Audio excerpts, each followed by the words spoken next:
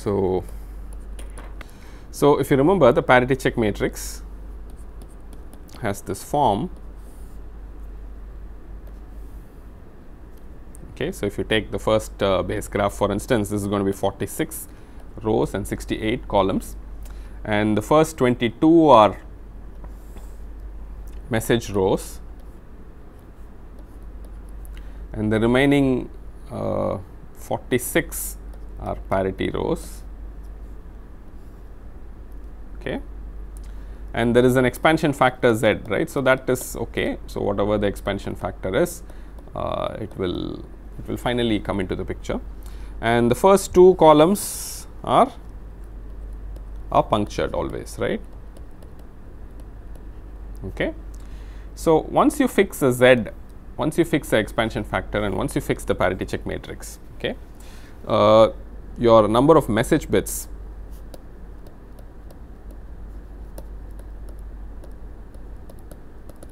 Becomes 22 times z.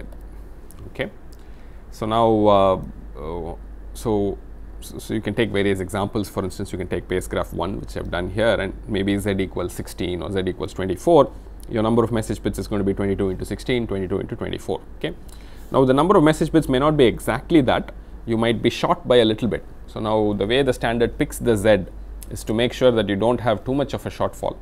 And when you have a shortfall it will invariably be in only within one z block okay? And then within that z block you make you shorten you make few of the bits to be 0 okay? So that's what you do if you are not exactly a multiple of z okay? But, that, but i'm not going to talk too much about that. We, we will not worry about that too much. But what about the number of code word bits? So so far so far if you look at the number of code word bits number of possible code word bits.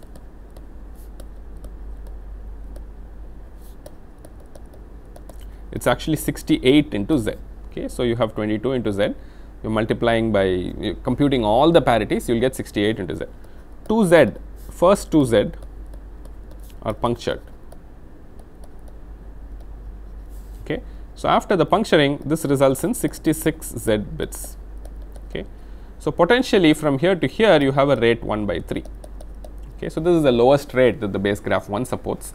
Uh, the similar number for base graph 2 is 1 by 5 okay so if you remember it's 42 by 52 okay 10z will be the number of message bits and 52z will be the total number of code word bits. You puncture the first 2z you get 50z so 10z to 50z it's 1 by 5 so that's base graph 2 in base graph 1 you have rate 1 by 3 okay and uh, so what if i want a higher rate so suppose i want rate half what do i do? Okay so that's where the rate matching sort of comes in. For rate half message bits is 22z the you transmit only uh, first 44z bits are transmitted. Last 22z bits are punctured punctured meaning see remember when you puncture those parities they are actually non-zero values and you are not transmitting them okay? So that's something important to remember. So then you get rate half okay? So out of these 46 so you have the first 22 and out of these 46 you will only send the next 22 okay? So for rate half rate half uh, you, so remember it's not a total of 22 you're puncturing something in the middle right?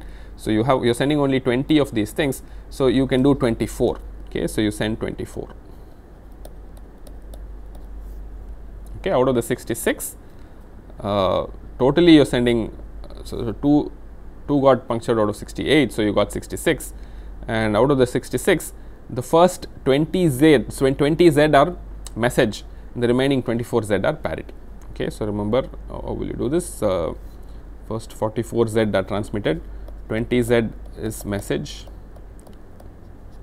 And 24 z is parity. Okay remember the first 2 z message blocks got punctured. Okay so this is message. And you puncture them. Okay so 24 z you send to get rate on half. What if you want a higher rate? Supposing you want rate uh, let's say 2 by 3 okay so what do you do for rate 2 by 3 let me write that down here supposing you want rate 2 by 3 uh, from 22z I should be only sending 33z total, right? So that's that's uh, that's that's that will give me uh, rate 2 by 3 bits are transmitted. So that means 20z is message plus 13z is parity. Okay, so for rate uh, 2 by 3, so you'll have something here.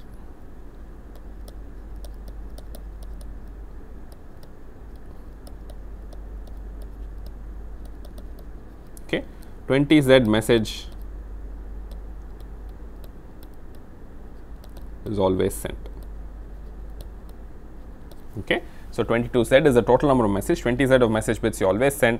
How many parities you send depends on the rate that you want to accomplish. Rate 2 by 3 you send only 13z, rate half you send only 24z. In higher and higher rates, different rates you can decide how many bits you want to send. Okay. So, that is the rate matching strategy from a high level. Uh, so, what do you, how do you do the decoding now? So, supposing if you do rate half, how should you decode? Now, that is an important question as well, right. So, you have only 24z, okay. So, since you have only uh, 24z here, okay, the total that you are sending is uh, 44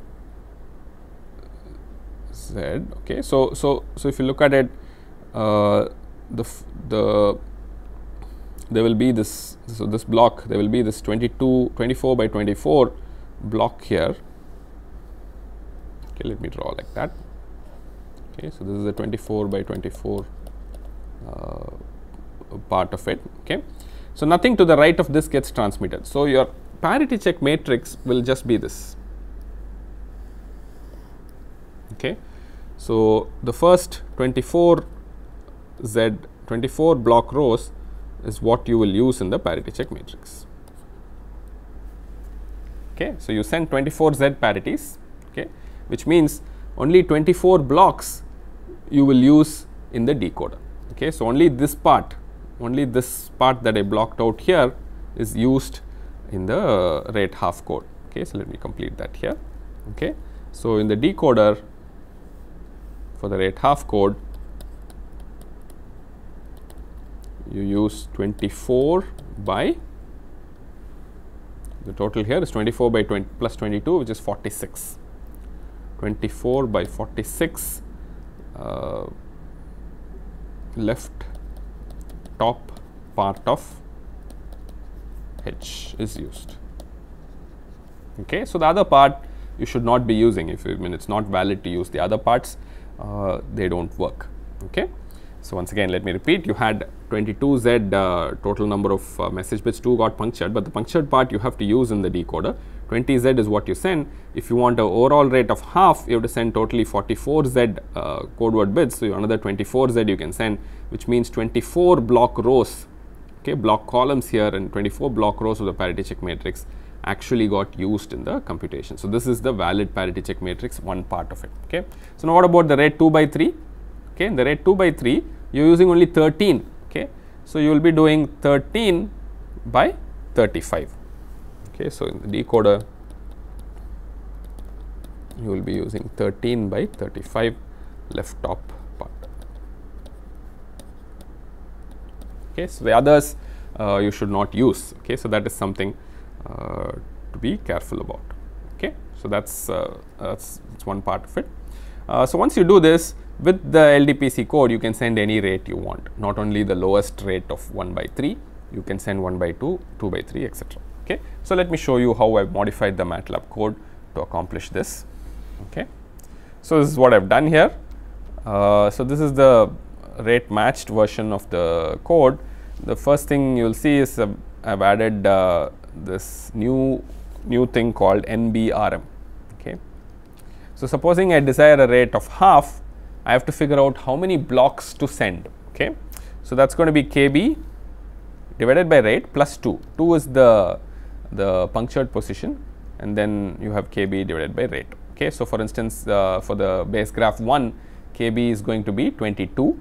If rate is half you will have this this first part giving you 22 by by half which is 44 plus 2 is 46 okay so if you remember 46 is the total number of blocks uh, that will be valid in your parity check matrix okay so the total n is uh, nb into rm that's NBRM into z okay this is after expansion. And then this is the number of rows of the parity check matrix. Number of columns of part of parity check matrix.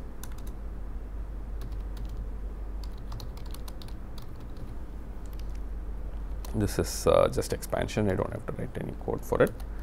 This is number of rows